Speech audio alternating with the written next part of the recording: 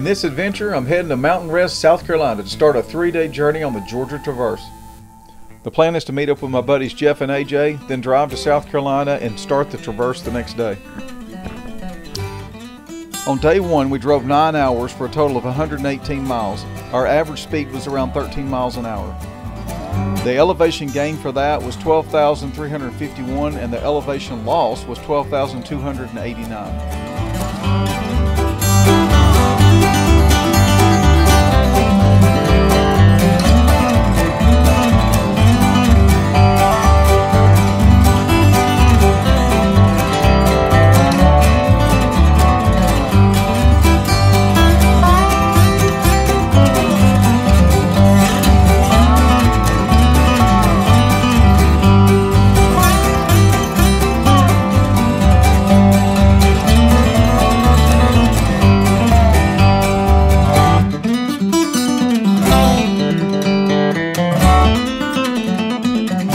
The best things about the Georgia Traverse is the sense of isolation you can find there.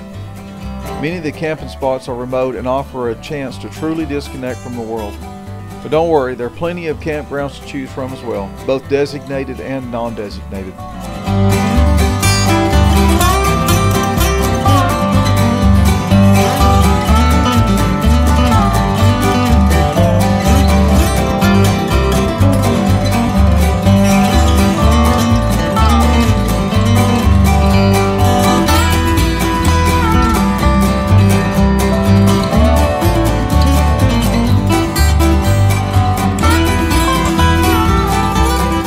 day two of the trip, we drove right at seven hours for a total of 75.2 miles. Our average speed was a little over 11 miles per hour. The elevation gain was 5,483 feet, and the elevation loss was a little over 6,000 feet.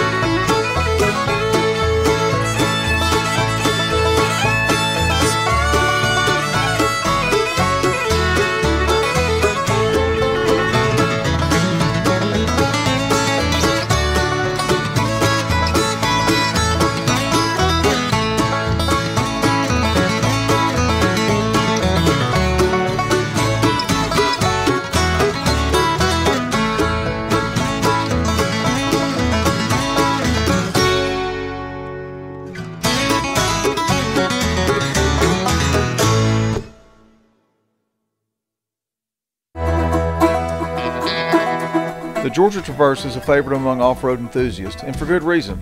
The terrain varies greatly from rocky streams to grand vistas and offers plenty of opportunities for adventure. But it's not just the off-roaders. Hikers, backpackers, and campers also find plenty to love here.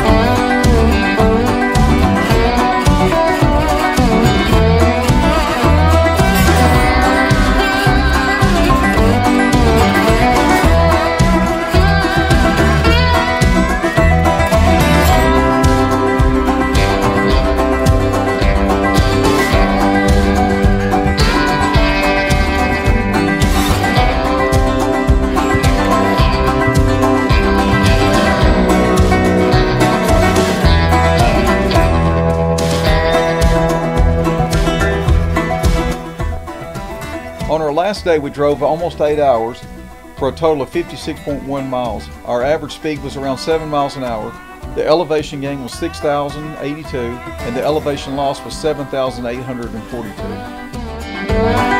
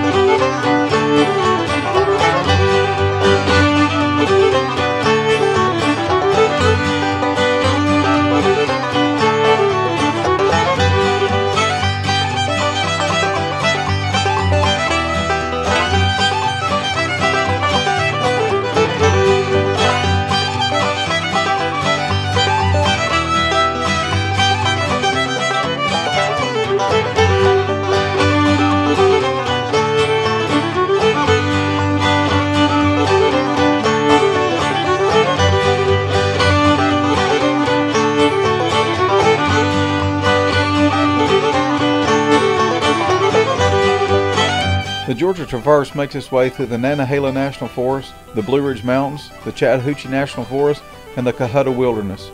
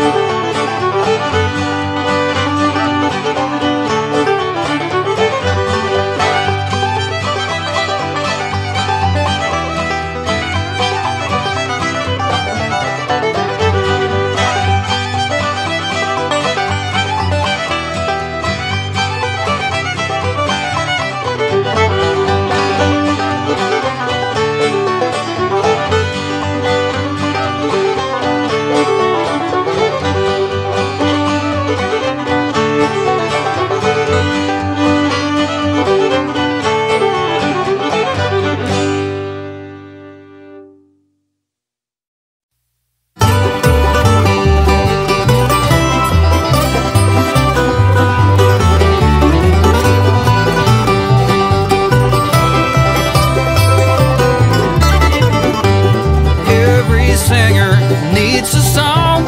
Every bell cries out to be around. Every dog wanna wag its tail. Life ain't nothing but a pilgrim trail.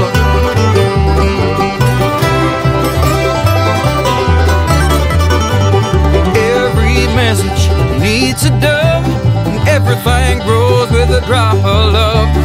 We're all hanging on tooth and nail.